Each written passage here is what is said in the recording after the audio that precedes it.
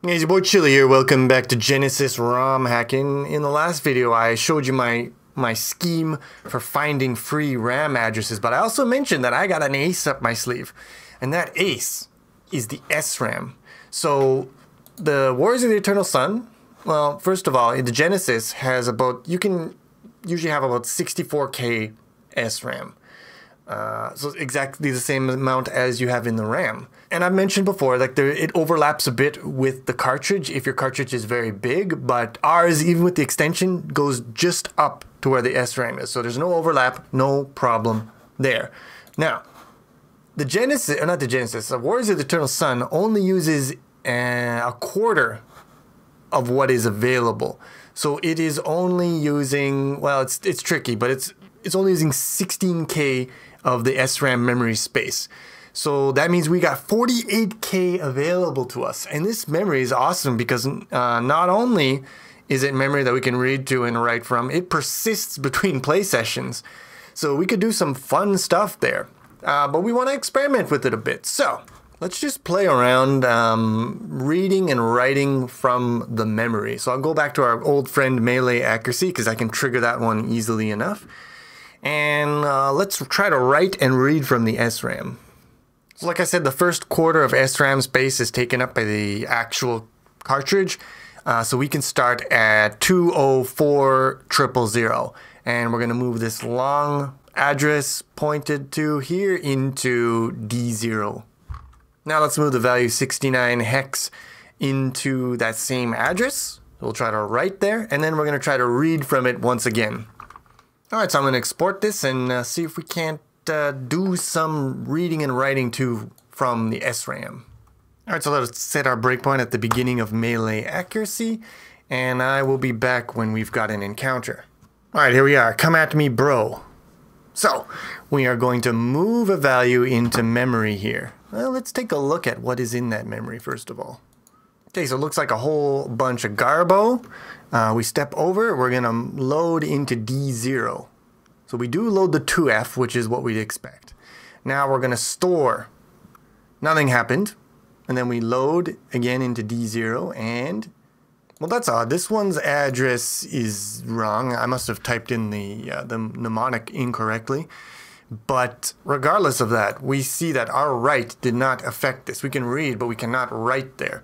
So, what's the problem? Well, if we take a look at error log, we see here that it's actually using the header. It says SRAM detected from header, start location 20001 and length of 3FFF. So that basically jives with what I understand about Warriors of the Eternal Sun. It declares what SRAM region it has, and the emulator is strictly respecting that. So, this means we probably need to change the header. So online you can find a reference to what bytes in the header mean what. And if we look at starting at 1B0, there are 12 bytes that uh, correspond to extra memory. And then, yeah, so we have a bunch of entries in a structure like this. First two are just a signature RA. Then you have one BAM RAM byte which says the RAM type a fixed byte, and then you have the start address and the end address. So these ones we want to change. But also, so there is a RAM type, and there's actually a bunch of different ones in here. You can have 8-bit RAM, you can have 16-bit RAM. And here it says whether it saves or not. So whether it's volatile. And I don't I don't know of any that don't have a battery backup for their SRAM.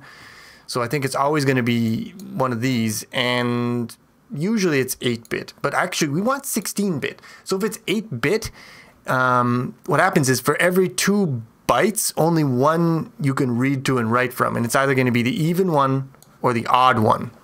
But that means that if you use, and this is actually what uh, Warriors Eternal Sun does, if you use 16K of memory space, you only get 8K of storage, but we want the full storage. So we're going to be accessing 16-bit. So that means that we should set this byte to E0, and we should set the end address to 7FFF. Okay, so let's find this header. Yeah, I see the problem here, by the way. This is completely wrong. This should be 204000. And come in There we go. Okay, so we'll fix that, but we have to go up to our ROM header. Go. So the header starts, I think, at 100. Yeah, it says Sega Genesis, and if we scroll down to 1B something, yeah, 1B0, we can see, what's this? What's this here? Well, Chili's been busy. I created a structure for the, the RAM part of the ROM header. So now it's very easy and readable here. We can see this bit uh, is always set. This bit controls whether it's saving RAM. This bit controls whether it's 8-bit, odd or even. So what do we want to change? Well, we want to change this one here and we want to make this 16-bit. We want to turn that into, I want to turn this 8-bit into 16-bit. So we want to change this RAM access to E0 and we want to change this address to 7FFF. Now the problem is we can't actually change it in here. It sucks. It really sucks, but the, the editor doesn't allow you to patch the data when it's in a structure like this, as far as I can tell. So that's garbage. Luckily, I can cross-reference in my byte editor and get the job done. So, uh, what do we have this? This F8 should be an E0. So let's turn that into E0. And you can see that this one automatically adjusts, which is nice. At least it reflects this one automatically. So now we see is 8-bit is false, is odd is false, now, if we find our address here, we want to turn this 3F into a 7F. Uh, so that changed this here, and that is good to go. We should be able to save and export. All right, we back. Let's hit our breakpoint here, and let's go find an encounter. You might notice already that the, the memory address has now been all filled with FFFF, which indicates that that is actually being allocated as SRAM space. All right, we snake boy now attack. Okay, so we're gonna load from the memory address. We that should put an FF into our D0. Sounds vaguely lewd, but we'll live with it. Now we're gonna store 45 hex. Son of a bitch, this put it in the wrong address. This was the wrong, was this the wrong the whole time? Ah, this is so annoying. Okay, we back. Now it better be fixed. Okay, all the addresses look correct. So again, we move into D0. Make sure I'm in the right window. Yeah. Now we're going to store 4.5 into memory, and we get 4.5 in here, a little strange. And then when we load it, 4.5 goes into D0. So we can round trip our data to the SRAM, no problem. Now, like I showed you, I talked about this, but um, the RAM is generally 8-bit, and the emulator, the way it works is even in 16-bit mode, if you write a single byte, it is going to duplicate that to both um, both of these in the 16-bit word and that's just the way that's just the way it is. And what that means is that we have to be very careful about how we access things, especially things of byte size, like byte strings or whatever. It's going to be tricky to read and write them from memory. You're going to have to worry about your alignment and packing them together into 16-bit because we basically we can't do byte accesses because if you write a byte into either of these two is going to overwrite the other one. Um, so that means that working with SRAM is potentially a little annoying, and that is why I am still looking at trying to find RAM regions. Uh, but the SRAM is, a huge amount of memory that we can potentially access, and we can persist save data in there as well. So it's it's definitely something that I want to exploit. Now there is one more thing that might be a problem. I don't think it's going to be a problem, but potentially it could be, and that is speed. So I think typically SRAM maybe ran at a slower speed than the normal. Maybe it didn't. I don't know. But um, if it did, and if the emulator emulates that speed difference, then that means that if we are using SRAM like normal RAM, it might slow our routines down uh, considerably. So I'd like to do a test just to see the speed difference, if any, between RAM and SRAM. All right, let's do this speed test here. I got a couple of pointers to memory. One is pointing into, you know, in the middle of the RAM, basically. And the other is pointing to the start of our SRAM region. I've got a little function here, do memory speed test. Takes in a pointer and it's just going to write a, a thousand bytes. It's going to write them as D words, 32-bit values. And then I export two functions that do the memory speed test using the RAM pointer and the SRAM pointer. Very simple. Now we want to, of course, examine our extension listing to see if it's doing what we expect. There's no big differences between the two routines.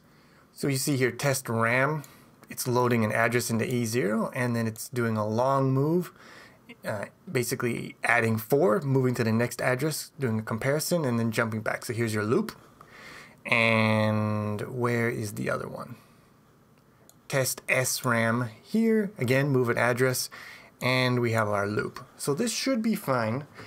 Now, after importing that new code, we can modify our melee accuracy to call both of those functions. So first we test the RAM and then we test the SRAM. All right, so I got my breakpoint set here. We're gonna see, yeah, it blocks. And it is jumping to two extension functions. So first thing we're gonna do, we're gonna take a time point. This is an emulated time. Uh, then we're going to step over.